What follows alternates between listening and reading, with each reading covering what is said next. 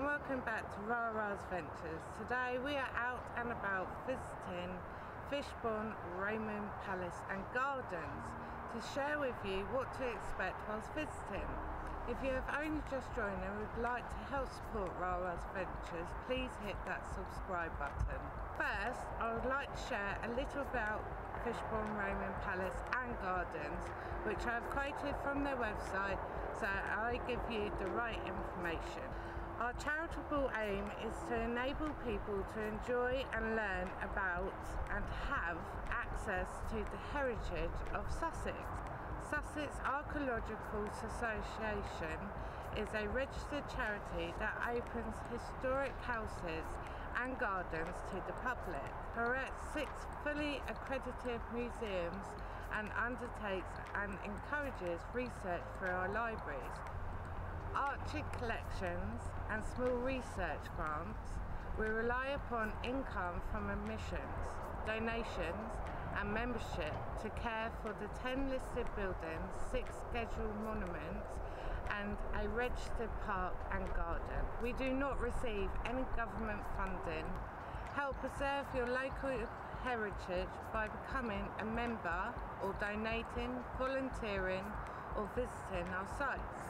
We host a finds identification service and offer a variety of walks, talks and conferences on the archaeological and history of Sussex. We hold archaeological collections for the countries of East and West Sussex, including the award-winning Collections Discovery Centre Fishbourne Roman Palace, in partnership with the Novium. So there is a small bit of information about Fishbourne Roman Palace. Before we go on, I just want to share a little about the parking that it is accessible for school trips, people, small buses who have mobility scooters, wheelchairs, walking frames. So do not forget to bring your blue badge as there are disabled parking bays. You're allowed to bring assistant dogs throughout the whole of your visit they also have two wheelchairs that you can loan out whilst you're visiting, but I'd strongly advise that you pre-book them before your visit if this is something that you feel that you will need. They also have disabled toilets, which you will need a radar key for. If you do not have one, you can ask a member of staff. This is also something that I have done a vlog about which I have left the links to to take you directly to the site so you're able to order one if you need one. All links will be down the bottom in the description. There is a gift shop and a cafe which we'll be sharing with you as we go round as well. Now we are going to start our tour around Fishbourne Roman Palace. So let's go!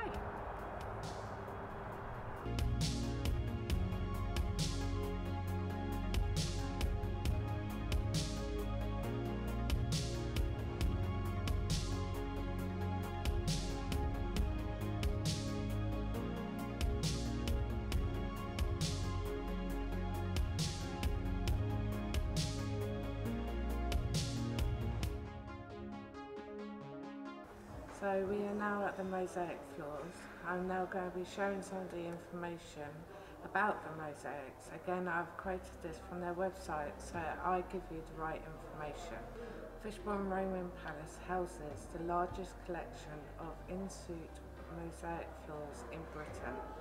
Many of these were laid at a time of their construction of the palace around AD 75-80, which makes them some of the oldest mosaics in the country. The original palace had approximately 100 rooms, most of which had mosaic floors. Of these, just over a quarter survived to some degree, ranging from small isolated patches to almost complete floors. Mosaic survival has been far better in the remains of the north wing of the palace. Here, over 20 mosaics and fragments of mosaics can be seen inside the modern covered building. In addition, substantial fragments of five mosaics were discovered in the west wing of the palace during the 1960s excavations, but there was no plan to erect a cover building to protect them. They were reburied for their own protection. Three further fragments were discovered in the southern half of the west wing during the excavations in 1987-88, as they were beyond the boundary of the Roman palace site and potentially at risk. They were lifted, conserved and put on display in the north wing cover building. The earliest mosaics at Fishbourne tend to be black geometric patterns on a white background, something that was popular in Italy at the time. The designs may have arrived in pattern books and were adapted to suit local requirements. The mosaics probably also came from Italy, as there would have been no one in Britain with the necessary expertise. The materials, however, were local. The white tesserae are of lower chalk and the dark grey of limestone. The designs vary in complexity from a simple black and white checker enclosed by a black border lined to extremely complicated designs on the mosaic in room N12. This superficially appears to be the preservation design but closer inspection reveals destructive elements which add to its appeal. One of the most unusual mosaics is the Fortress mosaic, which was discovered beneath the Cupid on a dolphin mosaic in 1980 when the latter was lifted for conservation. This had a central panel divided up to 16 squares, each containing a geometric design. The remains of the nine different patterns survive.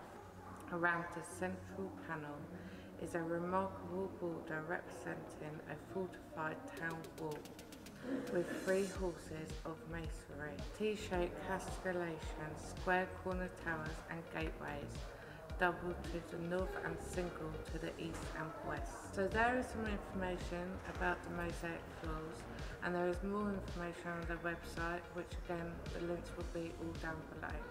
So let's carry on looking around.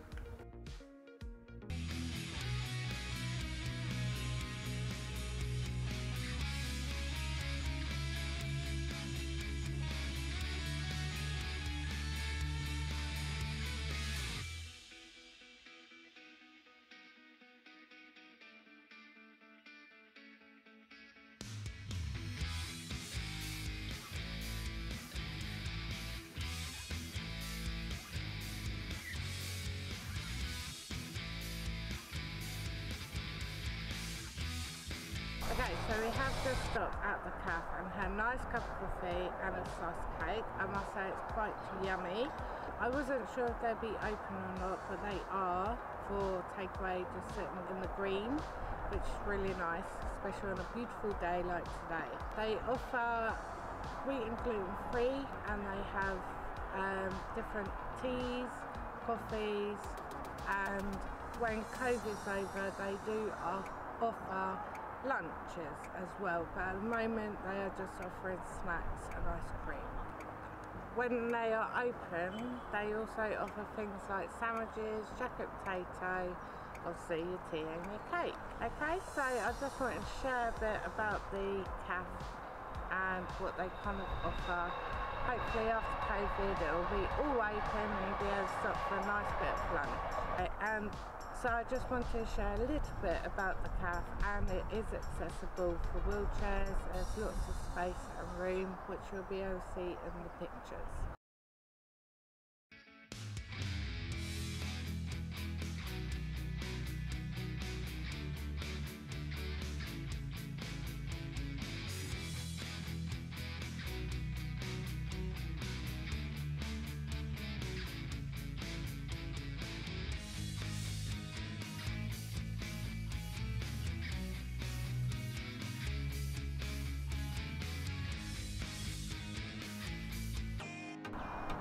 We are now going through the gardens and I'm going to share a little bit of information about the gardens with you.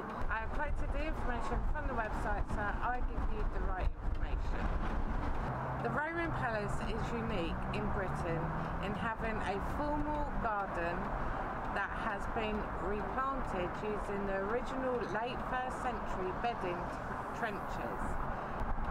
These have survived centuries of later ploughing discovered by archaeologists during the excavations in 1960s. They showed up as dark grey looms against an orchid colour clay and gravel subsoil.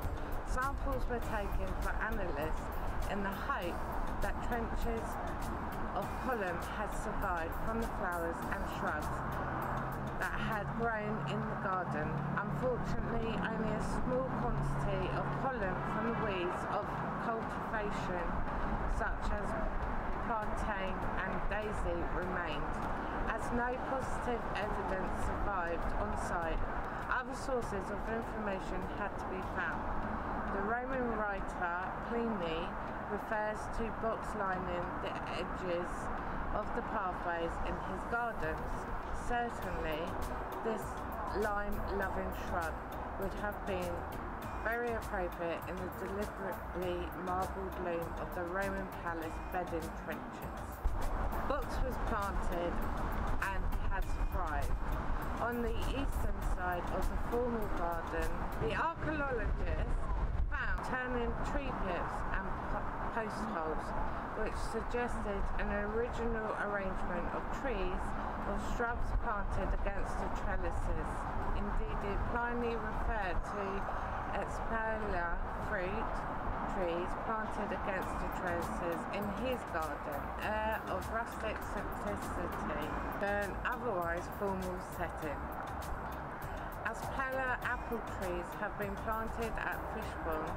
A large tree pit was found towards the western side of the garden. An important imported Italian cypress has now been planted here, but not without problems caused by the local climate.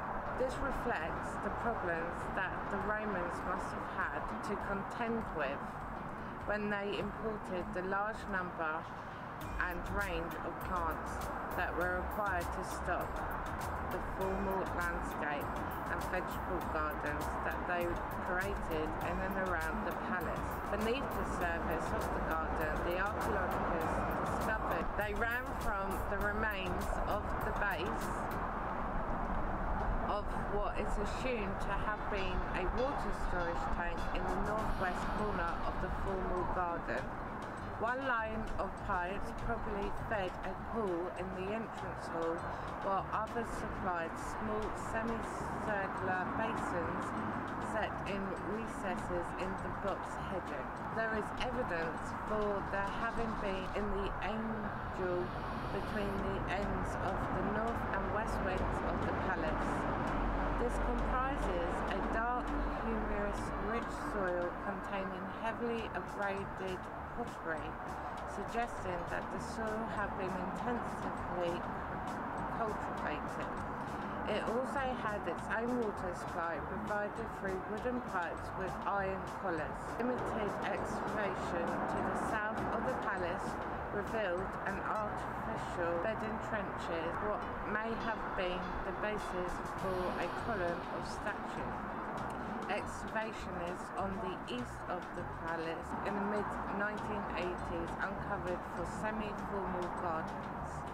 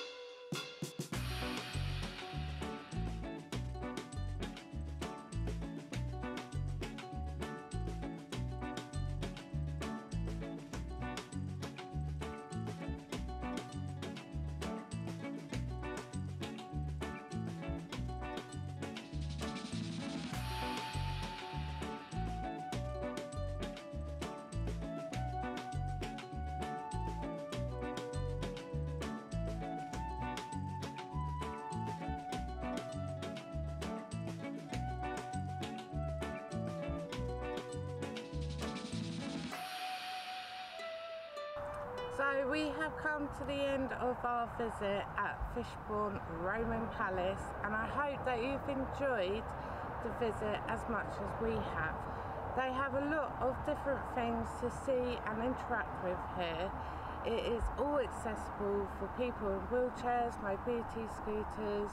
The only part that I would say that may be unsteady is going around the garden as there is small stones, so shingle. So if you're in a wheelchair, it may be a little bit more difficult to push, but as you saw, we took the mobility scooter, that managed absolutely fine. They have made it so one side is not as deep with shingle as the other side, which you can ask and they'll point out which side will be easier.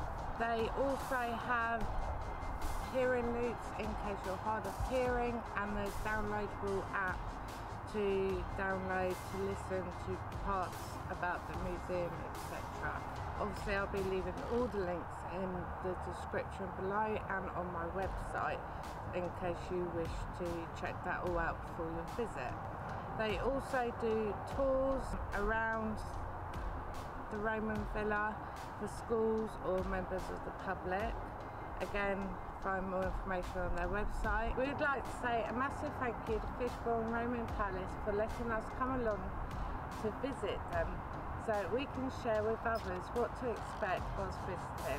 I'd like to also say a massive thank you to hubby for doing the filming today and a big thank you to all you for watching and if you are new and would like to help support the channel please hit that subscribe button as that will really help support what we are trying to do.